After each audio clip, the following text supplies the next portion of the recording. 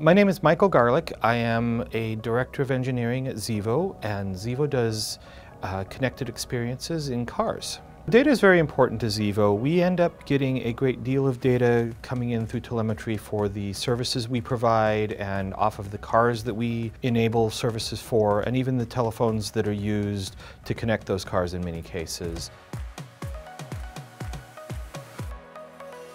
Prior to Snowflake, we were using a legacy cloud data warehouse in PySpark to load the data into it.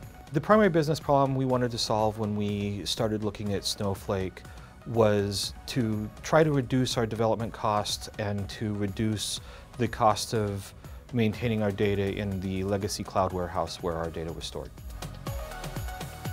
Our development time has reduced drastically as a result of our moving to Snowflake.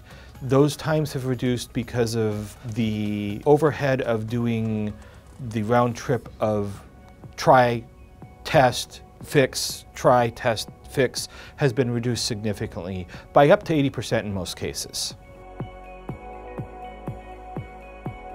Prior to Snowflake, our analysts were probably only using 1% of the data we had available. After we've adopted Snowflake, I would estimate that it has risen to close to 25%. Query time has improved significantly as a result of our move to Snowflake. It's hard to estimate fully, but many cases we've seen 45 minute queries become seconds. We've seen multi-hour queries drop below a minute. We've seen quite a few queries of varying speeds as a result. There are several technical benefits that we've gotten from Snowflake that have actually improved the business. One of those is the speed of ingestion has allowed us to more quickly turn around some of the investigative and experimental work we've done.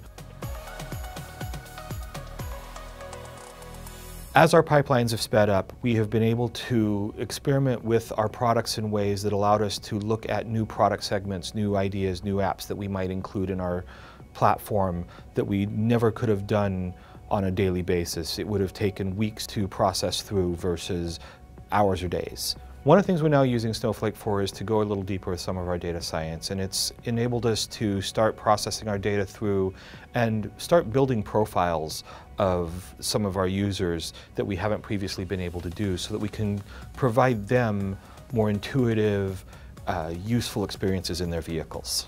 It's moved our organization out of a constant firefighting mode and dealing with things breaking and more into a long-term vision of providing great and new insights on a regular basis.